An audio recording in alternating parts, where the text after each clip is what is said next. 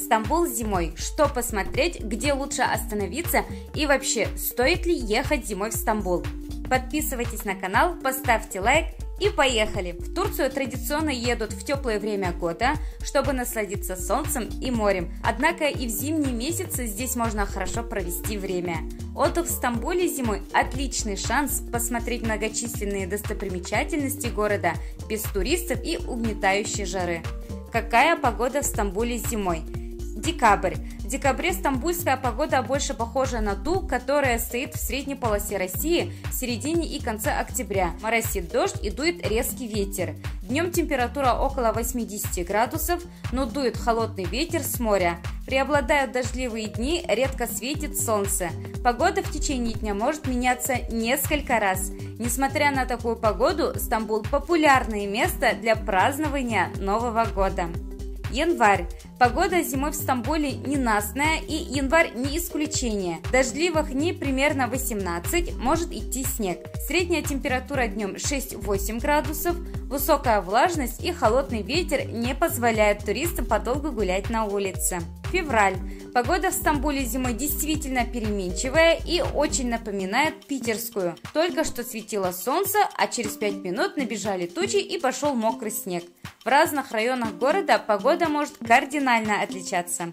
Плюсы отдыха в Стамбуле зимой. Возможность погулять по городу без толп туристов и посмотреть достопримечательности без очередей возможность заняться шопингом, пока идут распродажи. Цены на авиабилеты и проживание в отелях прямо-таки радуют. А где купить еще дешевле, я вам показывала, ссылку оставлю в описании под этим видео. Пустая площадь перед Айя Софией в Стамбуле редкое явление. Такое можно увидеть только утром зимой. Но есть и минусы отдыха в Стамбуле зимой. Многие музеи находятся на реконструкции, в парке вообще лучше не заглядывать. Музей закрывается рано, примерно в 17.00.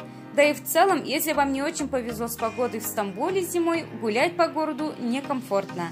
Зато можно устроить полноценный гастрономический тур, греясь в привлекательных кондитерских и кофейнях. И что же все-таки посмотреть в Стамбуле зимой и куда сходить? То же, что и в любое другое время года. Музеи и памятники архитектуры, храмы и мечети, базары и фасады старинных домов – можно совершать морские прогулки по Босфору, если позволяет погода, конечно, а также посетить хамам. И, конечно же, зимний шопинг. Зимой туристов в городе заметно меньше, а потому местные торговцы сильно снижают цены на свой товар.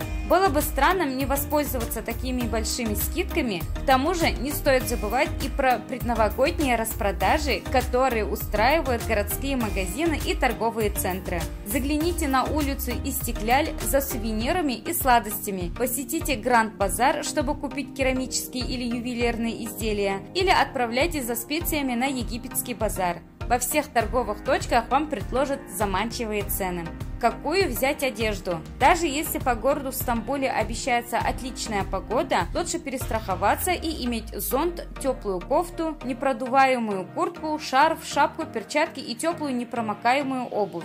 Турки зимой одеваются по-осеннему, пальто или куртка, шарф и шапка ботинки. Кстати, об обуви. Здесь будут совершенно неуместно высокие каблуки и шпильки, так как улицы мощеные. Если планируете много ходить по городу, надевайте удобную обувь. Где лучше остановиться в Стамбуле? Найти отель в Стамбуле не проблема. Трудности могут возникнуть с его выбором, потому что гостиниц здесь много. Предпочтительнее останавливаться в районах, расположенных ближе к достопримечательностям. Да, отели на окраинах обойдутся дешевле, но добираться к главным туристическим местам города придется довольно долго. Деньги вы сэкономите, а вот времени потратите больше. Это значит, что экскурсионную программу и прогулки придется придется сокращать. Наиболее популярна у туристов гостиница в районах Фатих и Беяглу, которые находятся в европейской части Стамбула. При выборе места для ночлега учитывайте близость остановок общественного транспорта, потому что даже в историческом центре расстояния вам придется преодолевать весьма приличные.